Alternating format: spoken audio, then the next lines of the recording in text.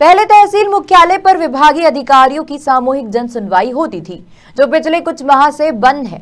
ऐसे में एसडीएम राहुल चौहान के द्वारा एक बार फिर से सामूहिक जन सुनवाई आरंभ करने की दिशा में सार्थक पहल की गई है। अभी तक हर विभाग मंगलवार को अपने अपने कार्यालय पर जन सुनवाई करते थे, लेकिन अब सामूहिक जन सुनवाई आरंभ हो गई है। अनुविभागीय अधिकारी राहुल चौहान द्वारा समस्त ब्लॉक स्तरीय अधिकारियों को पत्र जारी किया है जिसमें प्रति मंगलवार को होने वाली जन सुनवाई अब जनपद सभागार सरदारपुर में आयोजित होगी। आपको बता दें, अभी तक जन सुनवाई में सभी ब्लॉक स्तर के अधिकारी अपने ऑफ़िस में ही आवेदन प्राप्त करते थे, परंतु इससे समस्याओं का निराकरण जिस स्तर पर होना चाहिए, उस प्रकार नहीं हो पाता था।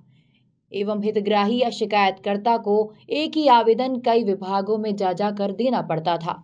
परंतु सभी ब्लॉक स्तरीय अधिकारी यदि एक ही स्थान पर बैठकर जनसुनवाई करेंगे तो समस्या का निराकरण तुरंत होगा।